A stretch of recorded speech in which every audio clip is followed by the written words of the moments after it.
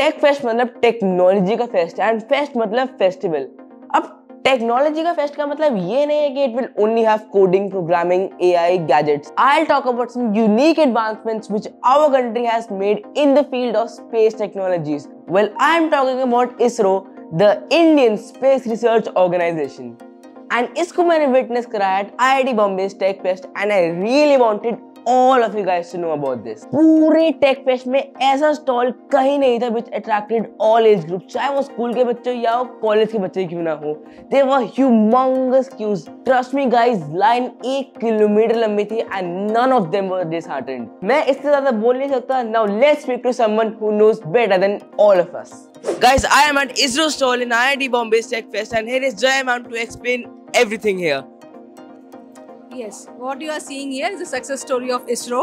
We have put uh, different launch vehicles. You are seeing here GSLV Mark III, the latest one, the fat boy of ISRO, GSLV Mark II, and PSLV there, which is the workhorse of ISRO. Okay. It is the only satellite which is launched Mangalyaan, made India the first country to reach uh, Mars, and then the satellite which has launched 104 satellites in one go. Uh, yeah, 104 satellites 2017 February. India was the only country who has lost those many satellites and it was launched in different orbits.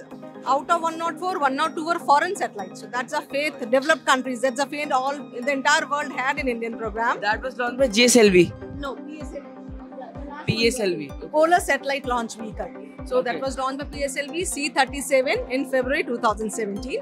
PSLV stands for Polar Satellite Launch Vehicle, used to launch polar satellites or remote sensing satellites. What you are seeing here, they revolve around the Earth from north to south, and they are used for Earth observation. The data what they send we have we make images out of it. You are seeing these images they are of that.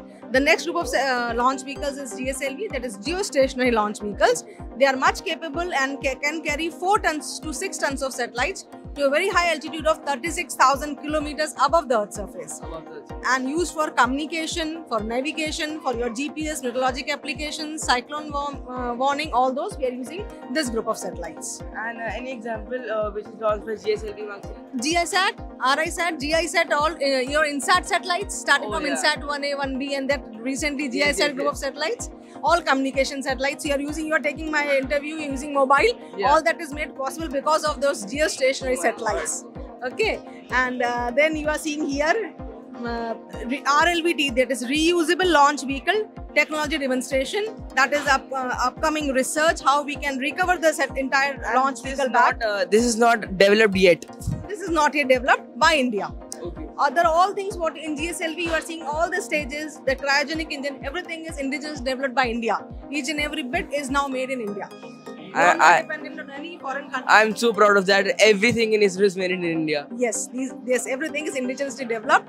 And uh, this is the Gaganyaan uh, upcoming mission of ISRO in which uh, it is uh, 2023 it is planned the unmanned mission where first the robots will go to the space 300 kilometers above the earth's surface and Gaganyaan will be on some planet no no it is in the uh, in space only it is not an interplanetary mission uh, these crew members will go to space as this poster also explains they will spend 3 to 7 days in the space 300 kilometers above the Earth's surface.